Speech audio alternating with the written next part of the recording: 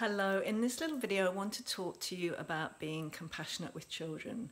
Now one of the ways that we can be most compassionate with children is really understanding the causes of their behaviors and really having a really a compassionate perspective of children, in fact all human beings. Now my perspective really comes from aware parenting and nonviolent communication and in both of those models the understanding is that by nature we are compassionate, aware, present human beings who actually love to contribute and to connect and cooperate.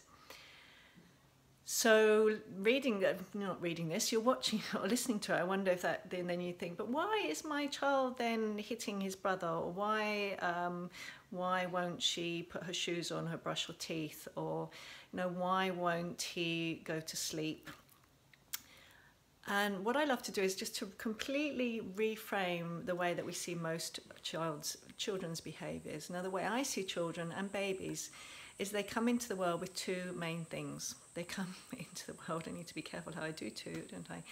They come into the world ready to fit into the family and culture that they were born into, and they come into the world wanting to stay connected with who they really are.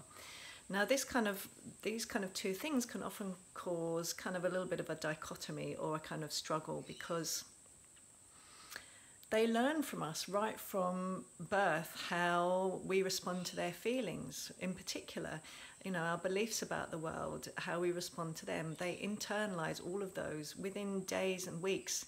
They are learning everything about the family and culture that they were born into.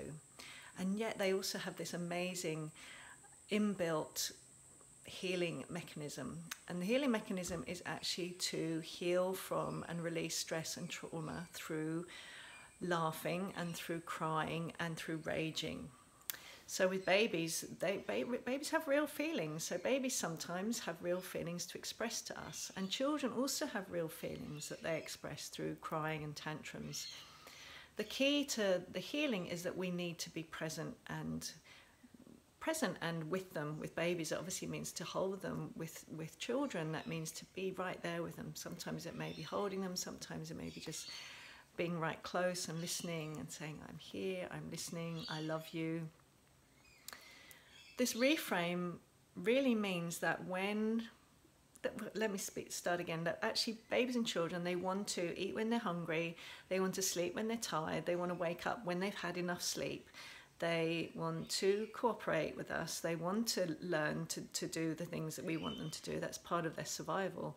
All of these things they actually want to do. They want to be loving and compassionate. That's their true nature. But if they're not um, sleeping when they're tired, if they're not cooperating when we ask them to, if they're not, um, or if they're doing things that we don't want them to do, then usually it's one of three reasons. So this is from Aletha Solter, who's the founder of Aware Parenting. I don't need to be careful about how I do three, I don't think. Um, so the first reason is they have unmet needs. So when a baby or a child has unmet needs, they have upset feelings. That's, and, and an adult too, we have upset feelings that come from unmet needs. The second thing is a need for information. Obviously, babies don't have this one, but children and adults do. You know, if we don't, mm, um, if our child doesn't know that we're happy for them to draw on the piece of paper but not on the wall, they might need that piece of information. And the, the, often we overestimate this. You know, how many times have you said to your child, you know, la la la la la, or they've explained, explained, they keep doing the thing over and over again. We come from a culture, a behaviourism culture, which believe that if you tell a child enough times, they will choose to do what you want them to do. But it doesn't take into account this third reason, which is the reason babies, children, and adults do things that we find unenjoyable is because of pent up painful feelings. So what happens is when we when we feel upset but our feelings aren't heard but we're distracted or fed when we're not hungry or jiggled or rocked or um, for a child, you know, told that we shouldn't be upset or read a book or given a screen or any of those ways. By the way, this is all about self-compassion. So if you've done any of these things, I invite you to refrain from self-judgment. It's just more about understanding that those feelings accumulate, they accumulate, they accumulate. And what happens is they'll start to do things like avoid eye contact. They'll start feeling agitated because pent up feelings don't go away. If we take our child's attention away from their feelings, may look like those feelings have gone, but all we're doing is we're taking their attention away from them. The feelings are still there, sitting there. And as those feelings accumulate and accumulate in their bodies, those are physiological things. They will start to feel uncomfortable. They'll start to be agitated and antsy. They'll start being wriggly in the night. They'll start finding it hard to sit still if they're a child. They will find it hard to make eye contact because if they make eye contact, they'll need to be present with themselves and then they will cry and we will probably try to distract them. So they've learned from us. I'm not going to feel my feelings. Again, lots of self compassion required here.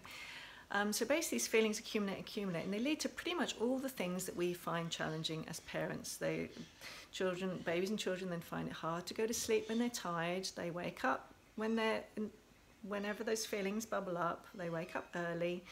They find it hard to cooperate. Um, they get antsy and agitated. They start throwing things. Um, they can hit or bite.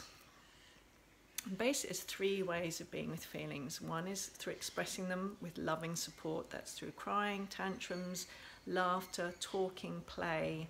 Those are ways of releasing the feelings so that they get released from our bodies. The second thing that can happen with feelings is we can repress them. So for babies, that's sucking a thumb, having a um, boob or bottle when they're not hungry, having dummy, um, clutching onto a soft toy or a blanket. Um, for children, that's things like nose picking, hair twirling, um, nail biting, being on a screen, reading 10,000 books all the time, um, moving around all the time. These are all ways they use to keep those feelings at bay. The third thing that happens is that those feelings turn into aggression. So for a baby, that might be they're starting to bite when they're on the boob, or they're starting to scratch or pinch. Um, for a child, that might be hitting or biting or throwing things or grabbing, you know, taking things from another child or pushing or swearing. And for adults, we have the same as all of these. So for adults, um, you know, our ways of repressing are things like Facebook, Instagram, chocolate, coffee, um, alcohol, distraction, anything, anything can be a way of distracting ourselves. And for adults, aggression comes out often as um, being shaming or punitive or harsh or shouting or slamming doors. Those are all the ways that we do things. It's really remembering none of us enjoys this. This is the final thing I find most helpful to remember. Do you enjoy it when you've done something like that? You've acted out in an aggressive way or when you're repressing your feelings does it actually feel comfortable when you're scrolling instagram and just doing it because you're actually trying to avoid how you feel? Or does it feel comfortable when you um, you maybe shout at your partner or speak harshly to your child? Don't want to be like that. I find it's really helpful to remember all these things for children this is the kind of little tattooed on the forehead. They, um, when they behave in ways we find challenging, that's not who they really are. They're not enjoying doing that. They're not doing it deliberately. These are all the things that can go through our heads. You know, they're not doing it deliberately to be annoying. They're not doing it deliberately to hurt us. They're not doing it because they don't care about us. They're not doing it because they don't respect us. They're not enjoying it. They're doing it because these feelings are bubbling up they feel uncomfortable, they don't, that's not enjoyable for them, and they're doing whatever they can to try and deal with those feelings. And most of all, the remembering that they need our help. They need our help to release those feelings in healthy ways through crying with loving support, through tantrums with loving support, through what we call attachment play by Aletha Solter with loving support through other kinds of play, through talking, they get to express those painful feelings and then they don't need to repress them. They don't need to be aggressive and they don't need to do all these things that we find most annoying, like not sleep or, you know, all the other things, not cooperate. Children want to be loving, they want to be connected, they want to cooperate. And ever they're doing things that you find annoying, if you can remind yourself, she's not enjoying this, she's not doing it deliberately, she isn't trying to do it to hurt me. She needs my help. She's in emotional pain right now. She needs my help. Even having that as the first step and repeating it to yourself many times can really help you then respond in compassionate ways.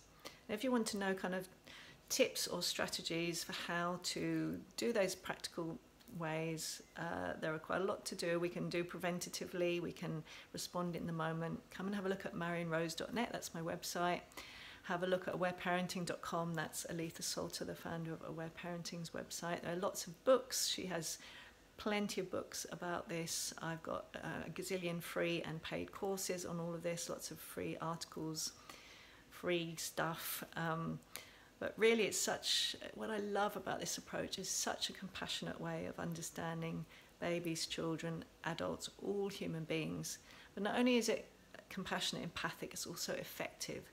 So we can respond in really specific ways that actually help our children stay connected to their true, loving, compassionate nature. And when they when they showing signs of accumulated feelings, we can help them return to that nature again and again and again so that they live a life where they're more generally more present, more connected, more compassionate, more aware, more cooperative, more able to sleep, more able to learn and take in new information.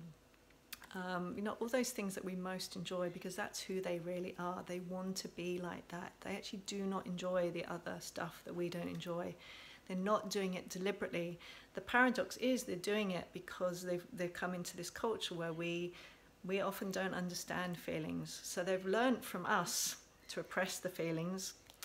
And then they, when they show these behaviors, we, we get frustrated at them. So again, if we can do this without, we can think this way without judging ourselves, it's not going to be helpful if you're judging yourself. But if you can really remember they've learned these ways from us. They're now trying to do the best they can with what they've learned um, you know, let's see as much as possible if we can be compassionate towards them. That requires a lot of self-compassion.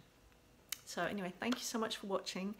Um, and I look forward to talking to you in another video and come and have a look at marionrose.net. Okay, bye.